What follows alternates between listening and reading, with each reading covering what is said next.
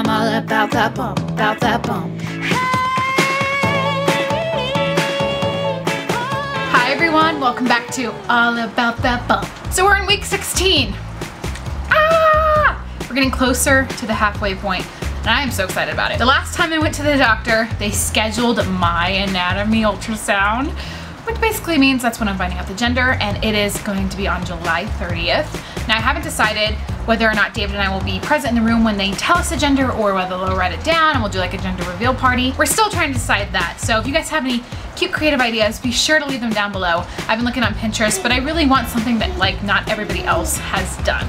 You know, I want something that's really unique and makes sense for us and our family. So after last week's video, I know a lot of you were concerned about me with the morning sickness and the fact that I had to go to the emergency room.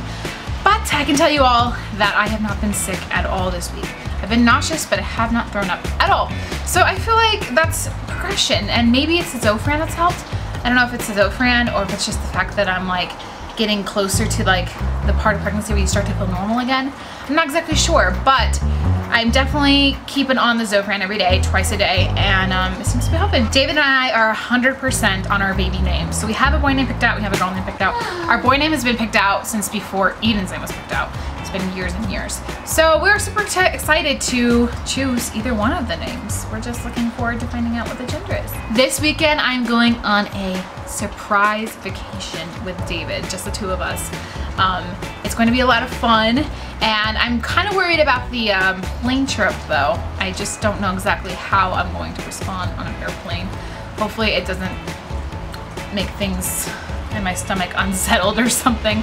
I'm gonna hope and pray for the best that it'll be a smooth plane ride and I can just sit back and relax. I think it's gonna be a little bit easier without a toddler because I can just like drink Sprite without her like wanting to throw it all over the plane. Every now and then I feel like a little bit of movement but it's nothing that's like, oh my gosh, the baby's moving. It's really just like a little like, I don't know how to describe it. It's kind of like an itchy feeling on your bladder, I guess you can say. It's kind of like tingly. It's very rare though. I haven't felt the baby move much at all. So we'll see what happens in the next few weeks. I have gained 0.8 of a pound. So that's good news too, I guess. I guess that means I'm able to keep food down now and now I'm going to be gaining weight like I should.